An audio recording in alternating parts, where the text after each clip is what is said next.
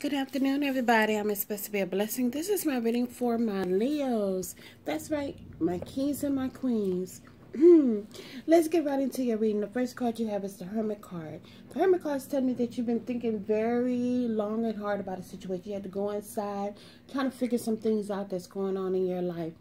And you have the Ten of Swords. So this is about great pain. You could be going through some kind of great pain in your life. Um, just growing through it, you know. The Ten of Swords is also an ending card um, definitely something heavy that's going on in your life. Some of you could be reminiscing about your past here. Definitely a past lover is what I'm seeing. Mm-hmm. And this person could have caused you some heartache and pain. Probably when you were with them, everything was, or it appeared to be peachy, cool, and creamy. It's like you was very happy. That's what it was shown to the world. But in the inside, you know differently the Temperance card is here because it's talking about balance. Um, when you were with this person, you had a hard time trying to keep your balance, is what I'm seeing. Definitely, you had to leave this person behind, is what I'm saying, because they couldn't go to your next level with you. The Empress is the card of birthing out new, exciting things, but some of you are very unhappy. They're going through some unhappiness, um, my Leos. You've been working extremely hard here is what I'm seeing. And you have the King of Swords. So definitely when a King of Swords comes into a reading, the King of Swords is, it's a mature and in full command. He is the law and authority over whatever field he may choose. So this is somebody in um, uniform. It's basically what it's saying.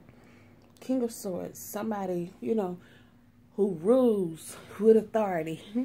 Ace of Cups is saying you're going to have some new love to come into your life, Leos. The Fool card is here saying you're going to jump out and do something new and exciting here within your life that may cause you to gain some financial happiness. The High Priestess is saying following your intuition. Definitely with the Eight of Cups, you're going to leave some people, placing things behind that no longer serve you here. Because also you could be leaving somebody behind because they're trying to juggle too, thinking that you're stupid. But that ain't working for you. They better ask some damn body. Okay, once again, you have the Hermit card. So you're inside, you're trying to figure some things out. Trying to get the answers that you need. There's an ending that's going to come. That's going to take place. Oh my goodness, is definitely experiencing some, some pain here. Reminiscing about the past. Did you reminiscing about somebody? Somebody reminiscing about you? Or a past love here some of you want the happy home life is what I'm seeing. You want to just be balanced and happy, feel loved and all that good stuff. But some of you have to get away from somebody that don't mean you no good is what I'm seeing. You want to birth out some new exciting things. But yeah, you're still unhappy in regard to the situation. You've been working extremely hard. The King of Swords, somebody can come in and say something harsh to you. This could be a man, but this is somebody of authority or whatever. You know what I'm saying?